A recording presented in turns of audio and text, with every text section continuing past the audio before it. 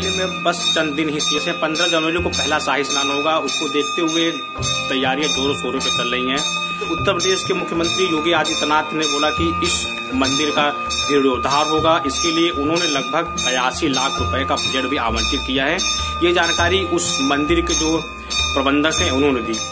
चार युग का वृक्ष। अक्षय सतयुग सतयुग में इसी वृक्ष से देवी देवता भगवान अपनी मनोवांछित फल मांगते थे, मनोवांछित फल पूरा करते थे। कलयुग में हम आप मांगते हैं, मनोवांछित फल पूरा करते हैं।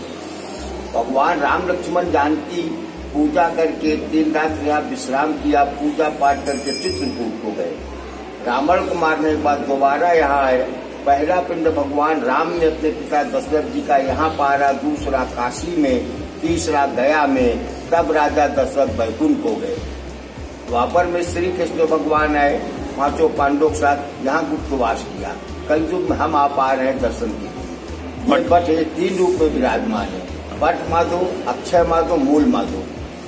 मूल की पूजा होती है बट अक्षर का परिक्रमा होता है। पूरे ब्रह्मांड का फल मिलता है वहाँ पर। चीनी यात्री वेन सांग ने अपने यात्रा वर्णन में छह सौ चवालीस ईस्वी में लिखा कि एक ऊँचा टीला है टीले में देवांगन है देवांगन में वट वृक्ष है जिससे कूद के लोग कामकूप में कूदते थे मोक्ष प्राप्ति के लिए। तो सभी नहीं मरते थे। किसी के हाथ पैर टूट गए, किसी को तमाम नरकंकाल भी देखे गए। तो अकबर को ये प्रथा पसंद नहीं आई। उन्होंने इस मंदिर को जो है कुएँ को ढकवा कर और एयर टाइट कर दिया। फिर श्रद्धालु आने लगे, क्योंकि उस जमाने में लाइट नहीं थी। छोटे छोटे दिए थे, उसमें दियों से जो कार्बन डाइऑक्साइड निकलती थी उससे सफोकेशन हो जाता था। तो ब्रिटिश अंग्रेज़ मुगल शासन खत्म होने के बाद जब ब्रिटिश गवर्नमेंट आई तो उन्होंने इस मंदिर में क्रॉस वेंटिलेशन खिड़कियाँ खुलवाई जिससे हवा, पानी रोशनी आती जाती है।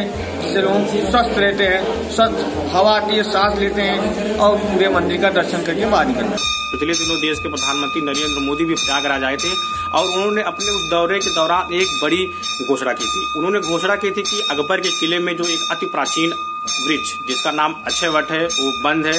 पहले वो सेना की निगरानी में था और वहाँ आम लोगों की आवाजाही पर पाबंदी थी। उन्होंने घोषणा की कि इसको अब 24 घंटे खोला जाएगा और यहाँ आम लोग भी आ जा सकेंगे।